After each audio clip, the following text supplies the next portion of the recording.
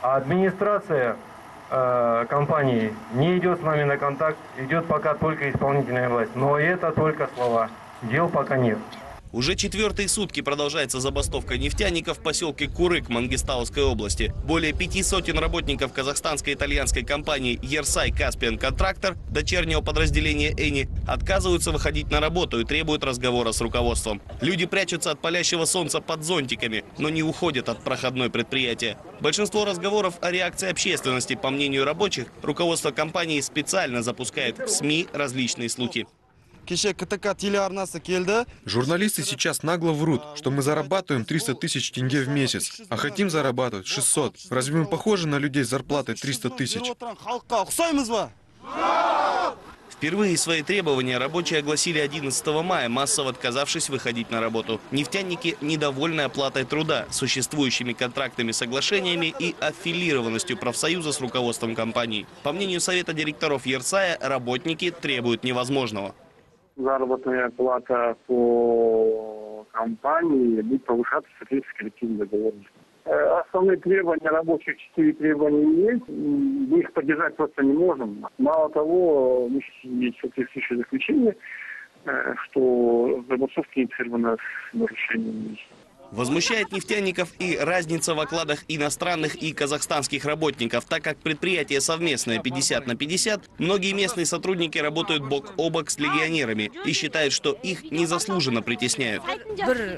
В одном отделе, к примеру, я работаю чертежником. Мой напарник филиппинец. Я местная, выучилась, делаем одинаковую работу. Но он получает больше. А мне руководство говорит, у тебя таких знаний нет. Ты так не работаешь. А когда он в отпуск идет, я вместо него справляюсь же. Несправедливо. Жители близлежащего поселка Курык поддержали бастующих и со своей стороны попытались добиться встречи с Акимом Каракиякского района Адалгири Даулбаевым. Однако глава местной администрации на переговоры не вышел. бірінші келетін кететін біздің балаларымыз Первыми увольняют наших детей, сокращают наших детей. Теперь и дискриминация. Даже когда готовят еду, им готовят отдельно, нашим отдельно. Это неправильно. Как такое может быть в нашей стране? Халықаралық В Казахстане, стране, подписавшей 25-26 статью Международной декларации по правам человека, в первую очередь должны защищать права коренного населения. Сегодня в республике работает много иностранных компаний. Из-за этого основные средства уходят за пределы нашей страны. Между тем, половина кредитов иностранных предприятий покрывается за счет государственной казны. ал негізгі қаржыландыру көзі қазақстан болып отыр Руководство компании, поняв, что успокоить обещаниями взбунтовавшихся нефтяников не удастся, на уступки тем не менее не идет и пытается урезонить бастующих руками отечественного правосудия. так как э, мы должны все-таки в цивилизованном э, формате, в правовом, э, вс- все споры решать в правовом, с- э, в правовом формате. Так как это действительно спор, э, то компания обратилась в суд э, с целью признания данного мероприятия незаконным. И, соответственно, мы будем ждать решения суда и по, по результатам решения суда, соответственно, принимать меры, либо что... То есть мы готовы исполнить решение суда. Рабочие тем временем пытаются активно развивать свой собственный независимый профсоюз. В дни забастовки, по неуточненным данным, его членами стали более 500 человек. Работники-иностранцы в акции участия не принимают. Может работать, потому что там тоже как бы иностранные работники есть. Но не полностью, а частично, наверное, остановилось. Потому что мы в данный момент там не, не владеем, что там происходит. Но большинство вот э, именно работников здесь стоят. А Работники уже объявили голодовку на 21 мая. Генеральный секретарь Конфедерации труда Мурат Машкенов считает, что возмущение ерсаевцев, идущая в эти дни голодовка нефтяников компании «Каражанбас Мунай» и недавние возмущения шахтеров Хромтау – звенья одной цепи. Все они свидетельствуют о системном кризисе в механизмах защиты прав трудящихся в республике.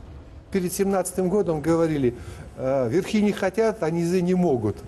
Вот такая вот примерно ситуация у нас напрашивается в этом секторе по той причине, что э, новые, вернее старые профсоюзы уже защищать старыми методами не могут, а новые еще сил не набрали, и опыта нет. Да если при том, что еще механизм защиты, вот это отраслевого профсоюза, сегодня разломан. И вот это и приводит, я считаю, к тому, что мы сегодня имеем. И эта вертикаль э, и эти проблемы отмечаются и у нефти, и у нефтяников, газовиков. Такая же проблема у шахтеров, такая же проблема у металлургов.